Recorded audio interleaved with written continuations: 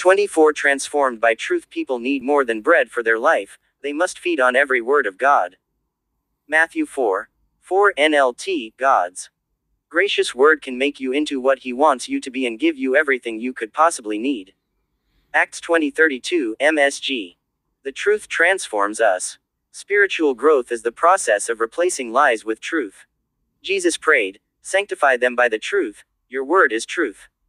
Sanctification requires revelation. The Spirit of God uses the Word of God to make us like the Son of God. To become like Jesus, we must fill our lives with His Word. The Bible says, through the Word we are put together and shaped up for the tasks God has for us. God's Word is unlike any other word. It is alive. Jesus said, The words that I have spoken to you are spirit and are life. When God speaks, things change. Everything around you, all of creation exists because God said it. He spoke it all into existence. Without God's word, you would not even be alive. James points out God decided to give us life through the word of truth so we might be the most important of all the things He made. The Spirit of God uses the Word of God to make us like the Son of God. The Bible is far more than a doctrinal guidebook. God's Word generates life, creates faith, produces change, frightens the devil, causes miracles, heals hurts, builds character, transforms circumstances, imparts joy, overcomes adversity, defeats temptation, infuses hope, releases power, cleanses our minds, brings things into being, and guarantees our future forever. We cannot live without the Word of God. Never take it for granted. You should consider it as essential to your life as food. Job said, I have treasured the words of his mouth more than my daily bread. God's word is the spiritual nourishment you must have to fulfill your purpose. The Bible is called our milk, bread, solid food, and sweet dessert. This four course meal is the Spirit's menu for spiritual strength and growth. Peter advises us crave pure spiritual milk, so that by it you may grow up in your salvation. Abiding in God's Word, there are more Bibles in print today than ever before, but a Bible on the shelf is worthless. Millions of believers are plagued with spiritual anorexia, starving to death from spiritual malnutrition. To be a healthy disciple of Jesus, feeding on God's word must be your first priority. Jesus called it abiding. He said, If you abide in my word, then you are truly disciples of mine. In day to day living, abiding in God's word includes three activities. I must accept its authority. The Bible must become the authoritative standard for my life, the compass I rely on for direction, the counsel I listen to for making wise decisions, and the benchmark I use for evaluating everything. The Bible must always have the first and last word in my life. Many of our troubles occur because we base our choices on unreliable authorities. Culture, everyone is doing it. Tradition, we've always done it. Reason, it seemed logical. Or emotion, it just felt right. All four of these are flawed by the fall. What we need is a perfect standard that will never lead us in the wrong direction. Only God's word meets that need. Solomon reminds us, every word of God is flawless. 10 and Paul explains, everything in the scriptures is God's word. All of it is useful for teaching and helping people and for correcting them and showing them how to live. In the early years of his ministry, Billy Graham went through a time when he struggled with doubts about the accuracy and authority of the Bible. One moonlit night he dropped to his knees in tears and told God that, in spite of confusing passages he didn't understand, from that point on he would completely trust the Bible as the sole authority for his life and ministry. From that day forward, Billy's life was blessed with unusual power and effectiveness. The most important decision you can make today is to settle this issue of what will be the ultimate authority for your life. Decide that regardless of culture, tradition, reason, or emotion, you choose the Bible as your final authority. Determine to first ask, what does the Bible say when making decisions? Resolve that when God says to do something, you will trust God's word and do it whether or not it makes sense or you feel like doing it.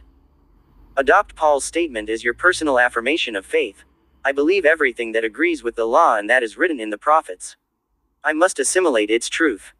It is not enough just to believe the Bible, I must fill my mind with it so that the Holy Spirit can transform me with the truth.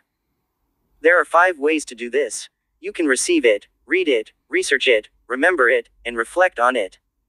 Many who claim to believe the Bible from cover to cover have never read it from cover to cover. First, you receive God's word when you listen and accept it with an open, receptive attitude. The parable of the sower. The parable of the sower illustrates how our receptiveness determines whether or not God's word takes root in our lives and bears fruit. Jesus identified three unreceptive attitudes a closed mind, hard soil, a superficial mind, shallow soil, and a distracted mind, soil with weeds, and then he said, Consider carefully how you listen. Anytime you feel you are not learning anything from a sermon or a Bible teacher, you should check your attitude, especially for pride, because God can speak through even the most boring teacher when you are humble and receptive. James advises, in a humble, gentle, modest spirit, receive and welcome the word which implanted and rooted in your hearts contains the power to save your souls. Second, for most of the 2,000 year history of the church, only priests got to personally read the Bible, but now billions of us have access to it. In spite of this, many believers are more faithful to reading their daily newspaper than their Bibles. It's no wonder we don't grow. We can't watch television for three hours, then read the Bible for three minutes and expect to grow. Many who claim to believe the Bible, from cover to cover, have never read it from cover to cover. But if you will read the Bible just 15 minutes a day, you will read completely through it once a year. If you cut out one 30 minute television program a day and read your Bible instead, you will read through the entire Bible twice a year. Daily Bible reading will keep you in range of God's voice. This is why God instructed the kings of Israel to always keep a copy of His Word nearby, he should keep it with him all the time and read from it every day of his life. But don't just keep it near you, read it regularly. A simple tool that is helpful for this is a daily Bible reading plan. It will prevent you from just skipping around the Bible arbitrarily and overlooking sections. If you would like a copy of my personal Bible reading plan, see Appendix 2. Third, researching, or studying, the Bible is another practical way to abide in the Word. The difference between reading and studying the Bible involves two additional activities asking questions of the text and writing down your insights. You haven't really studied the Bible unless you've written your thoughts down on paper or computer. Space does not allow me to explain the different methods of Bible study. Several helpful books on Bible study methods are available, including one I wrote over 20 years ago. The secret of good Bible study is simply learning to ask the right questions. Different methods use different questions. You will discover far more if you pause and ask such simple questions as who, what, when, where, why, and how. The Bible says, Truly happy people are those who carefully study God's perfect law that makes people free, and they continue to study it. They do not forget what they heard, but they obey what God's teaching says. Those who do this will be made happy. The fourth way to abide in God's word is by remembering it. Your capacity to remember is a God given gift. You may think you have a poor memory, but the truth is, you have millions of ideas, truths, facts, and figures memorized. You remember what is important to you. If God's word is important, you will take the time to remember it. There are enormous benefits to memorizing Bible verses. It will help you resist temptation, make wise decisions, reduce stress, build confidence, offer good advice, and share your faith with others. Your memory is like a muscle. The more you use it, the stronger it will become, and memorizing scripture will become easier. You might begin by selecting a few Bible verses out of this book that have touched you and writing them down on a small card you can carry with you. Then review them aloud throughout your day. You can memorize scripture anywhere, while working or exercising or driving or waiting or at bedtime. The three keys to memorizing scripture are review, review, and review. The Bible says, Remember what Christ taught and let his words enrich your lives and make you wise. The fifth way to abide in God's word is to reflect on it, which the Bible calls meditation. For many, the idea of meditating conjures up images of putting your mind in neutral and letting it wander. This is the exact opposite of biblical meditation. Meditation is focused thinking. It takes serious effort. You select a verse and reflect on it over and over in your mind. As I mentioned in chapter 11, if you know how to worry, you already know how to meditate. Worry is focused thinking on something negative. Meditation is doing the same thing, only focusing on God's Word instead of your problem. No other habit can do more to transform your life and make you more like Jesus than daily reflection on Scripture. As we take the time to contemplate God's truth, seriously reflecting on the example of Christ, we are transformed into his likeness with ever increasing glory. If you look up all the times God speaks about meditation in the Bible, you will be amazed at the benefits He has promised to those who take the time to reflect on His Word throughout the day. One of the reasons God called David, a man after my own heart, is that David loved to reflect on God's Word. He said, How I love your teachings. I think about them all day long. Serious reflection on God's truth is a key to answered prayer and the secret to successful living. I must apply its principles. Receiving, reading, researching, remembering, and reflecting on the Word are all useless if we fail to put them into practice. We must become doers of the Word. This is the hardest step of all, because Satan fights it so intensely. He doesn't mind you going to Bible studies as long as you don't do anything with what you learn. We fool ourselves when we assume that just because we have heard or read or studied a truth, we have internalized it.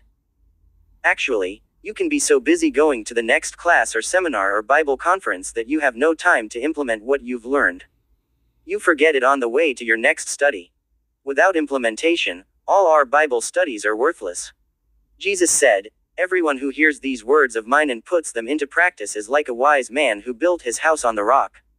Jesus also pointed out that P. God's blessing comes from obeying the truth, not just knowing it. He said, Now that you know these things, you will be blessed if you do them. The truth will set you free, but first it may make you miserable. Another reason we avoid personal application is that it can be difficult or even painful. The truth will set you free, but first it may make you miserable. God's word exposes our motives, points out our faults, rebukes our sin, and expects us to change. It's human nature to resist change, so applying God's word is hard work. This is why it is so important to discuss your personal applications with other people. I cannot overstate the value of being a part of a small Bible study discussion group. We always learn from others truths we would never learn on our own. Other people will help you see insights you would miss and help you apply God's truth in a practical way. The best way to become a doer of the word is to always write out an action step as a result of your reading or studying or reflecting on God's word. Develop the habit of writing down exactly what you intend to do. This action step should be personal, involving you practical, something you can do, and provable with a deadline to do it. Every application will involve either your relationship to God, your relationship to others, or your personal character. Before reading the next chapter, spend some time thinking about this question What has God already told you to do in His Word that you haven't started doing yet? Then write down a few action statements that will help. You act on what you know. You might tell a friend who can hold you accountable. As D. L. Moody said, the Bible was not given to increase our knowledge but to change our lives. Day 24 Thinking about my purpose point to ponder, the truth transforms me. Verse to remember If you continue in my word, then are you my disciples indeed, and you shall know the truth, and the truth shall make you free. John 8:31 32 KJV Question to consider What has God already told me in His Word that I haven't started doing yet?